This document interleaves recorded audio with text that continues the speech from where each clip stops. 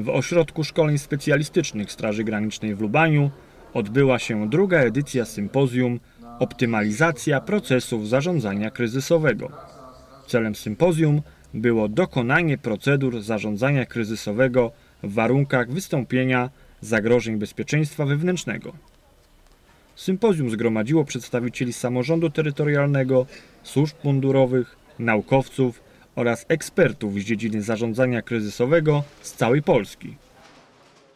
Jak ważne są to tematy, pokazują ostatnie tragiczne wydarzenia, które miały miejsce w powiecie lubaniańskim. Wyrażam przekonanie, że jest to nasze kolejne spotkanie, które przyczyni się do zoptymalizowania procesu w obszarze zarządzania kryzysowego. I tym bardziej ważne jest, mam nadzieję, że odbywa się to w Lubaniu ośrodku, ponieważ tu niestety się dużo dzieje w tym zakresie.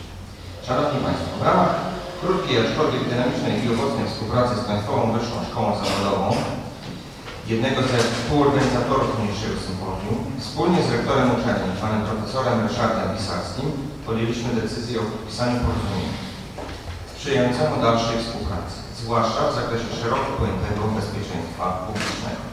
Zapraszam pana rektora do podpisania porozumienia. Reprezentując uczelnię, uczelnię zawodową, czuję się niezmiernie zaszczycony i uhonorowany, a jednocześnie czuję się bardzo zadowolony, że współpraca pomiędzy naszymi podmiotami zostanie sformalizowana. Ta współpraca, jak Pan Komendant był uprzejmy wspomnieć, trwa już od jakiegoś czasu. Jest to współpraca niewątpliwie owocna.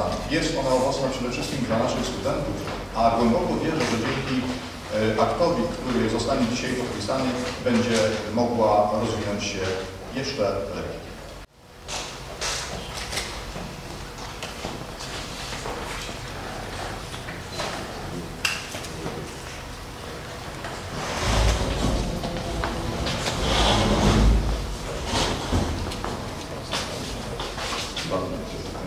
Mam nadzieję, że się teraz Dziękuję bardzo. Bezpieczeństwo wewnętrzne, proszę Państwa, to jest nowy kierunek. Mam nadzieję, że kierunek, który pozwoli na wykształcenie specjalistów, którzy w przyszłości zasilą również i służby mundurowe, którzy w przyszłości będą mogli zająć się tym, czym my zajmujemy się dzisiaj. Chcemy, żeby ten kierunek i tak wydaje się, że bardzo pozytywnie odbierany przez kandydatów na studia, o czym świadczy to, że w tej niełatwej przecież sytuacji niżu demograficznego mamy bardzo dobrą reputację na tym kierunku. Wszystko wskazuje na to, że na pierwszy rok będziemy mogli przyjąć około 200 chętnych. Tak więc na pierwszym roku będzie studiowało 200 studentów tego kierunku, co uważamy naprawdę za wynik świetny. Niemniej chcemy, żeby ten kierunek był kierunkiem a, takim stanowiącym wizytówkę szkoły.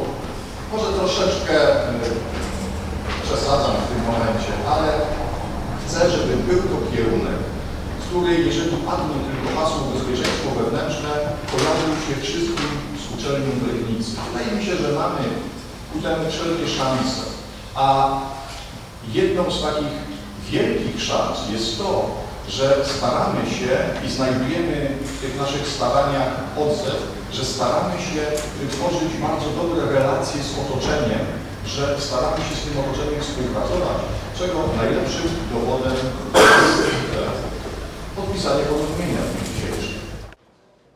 W ramach sympozjum odbyły się cztery sesje plenarne. Pierwsza sesja obejmowała teoretyczne aspekty zarządzania kryzysowego i bezpieczeństwa publicznego. Prelegentami kolejnej sesji byli przedstawiciele służb mundurowych odpowiedzialnych za bezpieczeństwo publiczne, którzy debatowali o współdziałaniu służb w sytuacji wystąpienia kryzysu.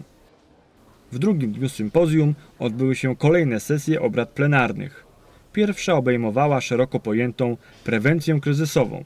Naczelnik Wydziału Zarządzania Kryzysowego Starostwa Powiatowego w Lubaniu, Tadeusz Sumara, scharakteryzował powodzie występujące w terenach górskich. Efektem prac sympozjum jest dwutomowa publikacja wydana dzięki życzliwości Państwowej Wyższej Szkoły Zawodowej imienia Witelona w Legnicy. Wsparcie merytoryczne i finansowe w organizację sympozjum udzieliło Starostwo Powiatowe w Lubaniu, burmistrz miasta Lubania oraz burmistrz miasta i gminy Świeradów-Zdrój.